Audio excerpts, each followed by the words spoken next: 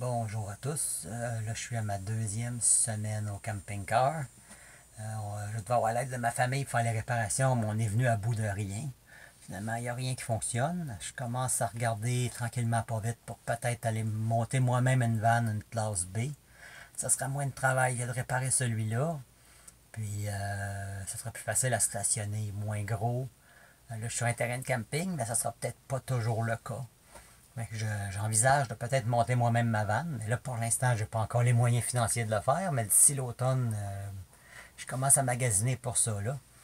Euh, bon, j'ai rasé ma tête parce que j'ai toujours pas d'eau. Je me lave à la chaudière avec des bouteilles. Puis les cheveux, euh, c'était vraiment difficile à laver. Puis j'avais des démangeaisons, j'en venais plus à bout.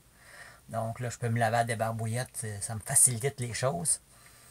J'ai fait mon premier feu euh, la semaine passée. Avec mes... Dans le fond, je garde tout ce qui est déchets de carton, papier, puis je les brûle dans le foyer.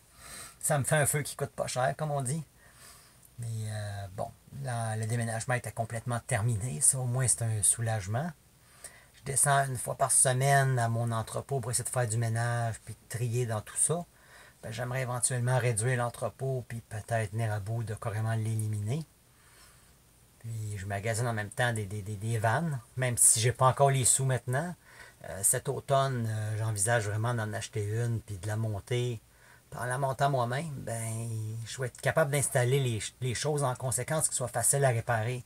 Plutôt que de passer les tuyaux d'un mur, peut-être je le passerai à l'extérieur. Ça sera peut-être moins esthétique, mais au moins quand quelque chose brise, euh, c'est c'est facilement réparable.